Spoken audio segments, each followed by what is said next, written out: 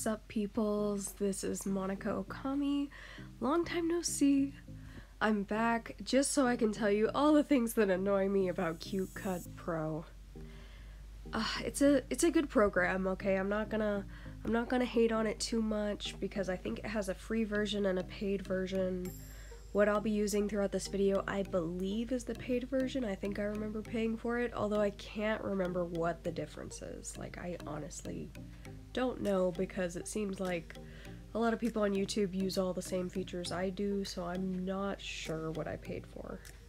Probably a dumb thing to do. So what I've been using the program for so far, I've been doing basic editing with my speed arts for TikTok, just, you know, cutting the video, speeding it up, slowing it down, so it's very easy to use the program for simple things like that. But what I'm trying to do in this video is to animate a picture. Also, by the way, this picture is a draw this in your style. So shout out to Holly Wally TV on TikTok, because this is her character that I'm animating.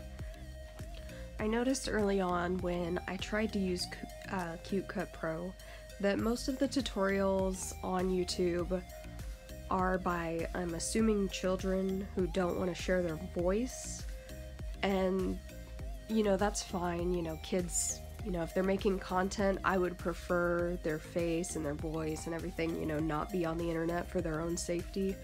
But at the same time you think at least one person would use this program to animate something. And you know they have an ipad which has a microphone in it and they're using the program cute cut pro which is what i'm recording this audio with right now. So it's like there's no excuse for there not to be a single video on YouTube with a voice tutorial for this program in the context of animation. Because, of course, there's tutorials for like video, vlog editing, but that's not what we're here for, okay? So I'm gonna make the animation video with a voiceover because there is clearly a need for it. Now, this video is sort of going to be a tutorial, but it's also sort of just me complaining about what I wish the program had because, you know, I'm coming from Adobe After Effects and what we're doing here is basically motion graphics, okay? Or parallaxing, which in animation is like we're taking a still image and we are morphing it over time so that it looks like it's moving. Now, we're first going to have to isolate each part of the image that is going to move. So you will see me in Procreate editing my image. Now, you don't have to use Procreate to edit your image. You can use any software that has an eraser and that you can export something as a transparent PNG. So when I say transparent PNG, I mean it has no background. I will be able to put it into this program and move it on top of things without it having like a white background, you know? So, we edit our image. I am isolating the hair, the eyes, the eyebrows, the mouth, different parts of the hair. So, like, I want the front hair to move separately from the back hair. And I think I'm also going to do the bows on the mask. So this is my first attempt, honestly, at uh, trying to animate in this.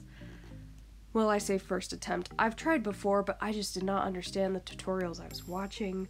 So those didn't really go anywhere. But with this project, I actually like make an animation. So this is the first one. And I think it turned out okay. But in the future, I would, you know, save myself the step of isolating the images, I would just make the different pieces on separate layers. That's definitely the faster way to do it.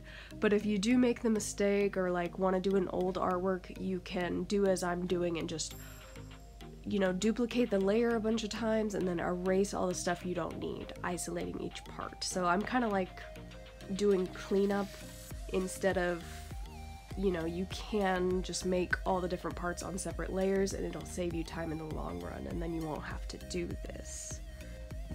So now going into Cute Cut Pro, I'm going to be bouncing around talking about different things that I'm doing and I will try my best to zoom in on the parts I'm talking about so you don't have to like strain your eyes trying to see what I'm doing in the program. So go to the layer that you want to animate, double tap, and then you'll have your like editing panel at the bottom there. You're gonna click the magic wand looking thing, and then it's gonna come up with another tab of editing stuff, and you'll click the plus sign. Now on the plus sign, you're gonna have the option to do a custom transition. Now, once you have activated the custom transition in your layer, you can move your layer to where you want it to be, or you can make it bigger or smaller. And you can also rotate it if you touch the corners. The first triangle is going to be where the image starts, and then the second triangle is where it ends. Now, this is going to be the first thing that kind of bugs me with CuteCut Pro, is where the triangle ends is where it stays. So if you want to make like a perfect loop like I had hoped to do with my image, it's kind of frustrating because it's going to stay where it left. So if you loop the animation back, it'll end where it ends and then it starts where it starts and it's just not seamless. Um, so let's play it back again. You watch my whole process as I start to move and animate this lock of hair. We activate our custom transition on the layer, which is the little blue bar that I'm going to move in a second.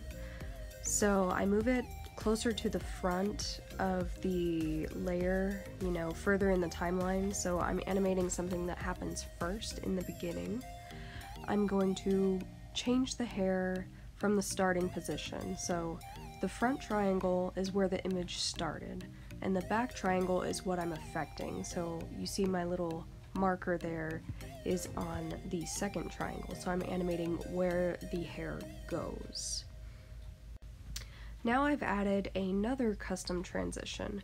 So the beginning triangle of this transition actually saves the place of what I just edited. So in between the last triangle of the first transition and the first triangle of the second transition, the object will stay the same. So now that I've moved the original position of the hair, I'm now trying to like get it back to where it was. So it has moved away from the shoulder and now I'm trying to get it to move back where it started, which is a challenge because in this program you cannot set the animation to go back to where it started, which is a little frustrating. There's no measurements or calculations you can type in. Even if you wanted to, let's say, export the animation of the video and then put the video back in, there's no way to set a video to reverse. So like you could animate it moving forward and then reverse the video so that it looks like it moves back into position. There's no way to do that within this program that I'm aware of. Like I said, I'm not an expert. This is the first time I've made an animation with this. So if any of you guys are experts and you know how to do the things I'm trying to do, let me know in the comments. Educate us all, that's what we're trying to do. So what I've been doing to try to get it as close to where it started as possible is I've been using the like transformation box as a guideline. So I know that all the transformations within the program are typically the size of the image. So I kind of look at where the box originally was and guesstimate my way back to where it is. And, you know, I undo the tilts, I make it large again if I shrunk it down or stretched it, and I just try to get it back to like the size of my original image. So another thing that bothers me about animating in this program is the custom transitions cannot move on top of each other. So if you start with one on the right side and then you create one on the left side, you cannot move the one on the right side to the left side. It is stuck on the right side of your new transition forever. Like, you just can't move them. Which, if they could just move, it would make things so much easier because then we could, you know, copy the transition because you can copy the transition and then you could have it move back to where it started. So let's say you copy the transition, then at least that point it, it would take you back to the original position. It would it would oh my goodness, you could have all the perfect loops that you wanted. But yeah, as far as I know, you're gonna have to like copy and paste the layer a million times, remake the transitions, just struggling to get it back to where it started. It's it's very inconvenient compared to other programs where you can like type in a coordinate and then you know that's the exact position that it was in. So another thing that this program can't do yet, but hopefully they make some changes. Maybe they'll see my video and be like, wow, you know what, we can improve our program, but maybe that's wishful thinking, because, you know, it is a good program for the price that it is, especially those of you who use it for free. Like, you can't really complain about free. Heck, I used Windows Movie Maker for years, and you know, I don't hate that program because, you know, I used it, it was free, it did what I needed it to do, and so does this program. Like I said, I use it for pretty much all my TikToks, so I'll, I'll complain and hope that they improve it, but you know, we'll see. So, again, another problem that I wish they would fix is that you cannot copy the animation settings to another layer. That would be so cool because like you can do that in Adobe After Effects. So let's say I animate something doubling in size and then going back to normal. And then I could just copy that animation to the next image. I mean, like the selection is already the same anyway in the program. Like all the images are the same square size, even if the PNG is super small, they all are the same big box that envelops the whole image. Like, when when I was doing work on the eye, you know, the eye is such a small part of the village. Uh, sorry, the eye is such a small part of the image, but it still has this big old selection box that envelops the whole image. It just it doesn't make any sense. Like if the selection box is going to be that big, why not make it to where you can copy the animation onto other layers? That would be awesome. But it might be a little too intense for this program. So, you know, wishful thinking. And another thing about the selection box being so big and the fact that all of them are the exact same size, it's a little annoying because you can't tell what's selected. So like I always move my layer when I first uh, select it just to make sure I have the right thing selected and then I click undo so it goes back to where it was. But yeah, it's just just a little just a little nitpicky thing. Like it's not a big deal, but it's a little annoying. So at this point, the program actually crashed on me in the middle of editing my video. Now, normally I would freak out about this, but thankfully, Cute Cut Pro actually auto saves. Um, it's always nice when a program does this, so this is definitely like a pro, alright, versus a con. Like, this is a very, very good thing that the program does. And I like it because, you know, sometimes when you're playing a video game or you're working on an art project, you don't always remember to save as you're going.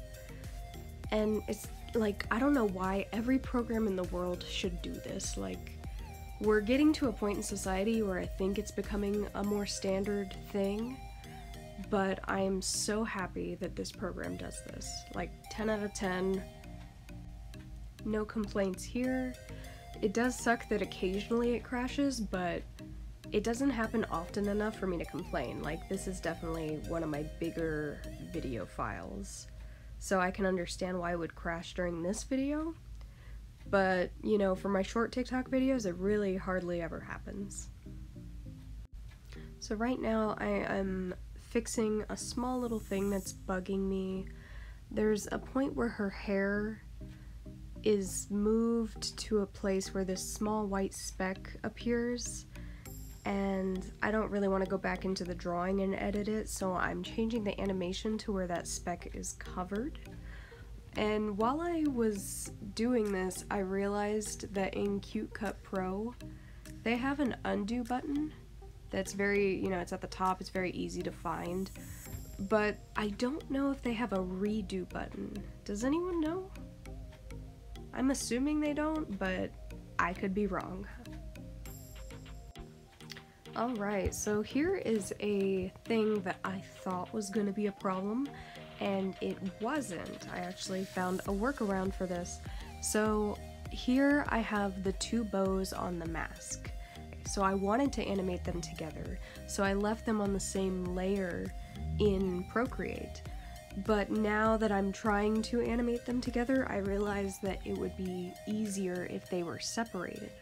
So I was like, how can I do this in the program so that I don't have to go back to Procreate and create two different layers for each bow? So what I did here is I duplicated the layer in Cute Cut Pro and then I used the crop tool so that I made each bow by themselves and then I was able to animate them separately. So yay, Cute Cut Pro has a couple workarounds within the program. You just gotta figure out where they are. now, this is my last and final complaint about the program that I wish they would change, and it's when you do a custom transition. Afterwards, let's say you want to edit the clip that the transition is in. Whatever edits you do to the clip, whether you're just cutting and removing a part of it, or you're scaling it, it's gonna affect the animation. You can't just like, let's say I animate the first half of a video and then I decide, you know, the second half that's not even animated, I want to get rid of it. I want to cut it, I want to remove it. The second I remove it, whatever size it decreases by also decreases the animation. It it makes no sense and I don't know if I'm articulating this well. I will try to find video footage to show what I mean, but it's it's a very frustrating part of this. So hopefully we'll get some kind of patch that fixes that if there's any development going on with this app. I have no idea when the last time there was an update. Heck, I might need an update now, and I don't even know. I think it's about time I wrap up this video. I am doing the last of my animation where I am uh, creating these like sakura petals and I am duplicating the layer over and over again and I'm rotating, I'm moving them across the screen. Um, initially, I think I had them blowing the wrong way because the hair was going one way and the petals were going another, so I fixed that here. Make them bigger, smaller, turn them around, try to make the petals look different enough while still using the same layer. And I think it turned out pretty well. So yeah, then you just export your video, hope that it loops okay, even though mine definitely did it, but you know, it was my first try, and after doing it one time, I think I can do it better next time. I think I can get a better loop now that I've kind of talked with you guys about my issues with the program and how I think I might be able to fix them, but you know, practice makes perfect, and us artists, we gotta make the best with the tools that we have. Now, of course, I could go on my computer and make some awesome animations, but I kind of like working from my iPad. I like being able to sit in bed or go to the couch and be able to edit my videos. It's pretty cool. I hope all you future animators learn something from this video. And hey, leave a like because I voiced this over. Good luck finding another uh, Cute Cut Pro animation video with a voiceover. Yo, are we gonna end this right at 20 minutes? Crazy. Leave a like, subscribe. I don't know when my next video will be, but if you guys have any ideas, I would love to make more YouTube content. I guess I could always re-upload my TikTok videos. I've been pretty consistent about those if you guys want to check me out over there. Now I gotta go decide what song to put in this video. Ah! Bye bye.